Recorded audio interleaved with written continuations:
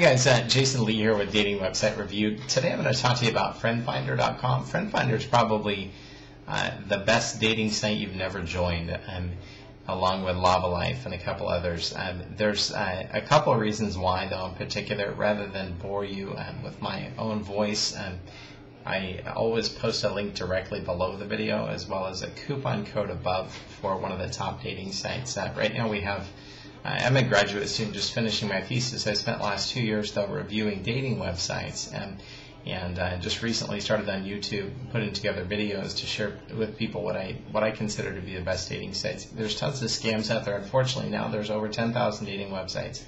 That'll give you an idea. There's only about 50 to 100 dating sites that are actually worth joining. Um, so we focus on those dating sites. Um, and uh, um, go from there. But at any rate, follow the link directly below for the full Friend Finder review. Um, and it's we've got the total costs, um, if there's any current coupon codes or discount codes, um, um, and all the functionality of that particular site. And like I was saying, we also collect all the best dating offers uh, at that um, website as well. So give me a thumbs up if you will on the video. Thanks so much for watching. Bye bye.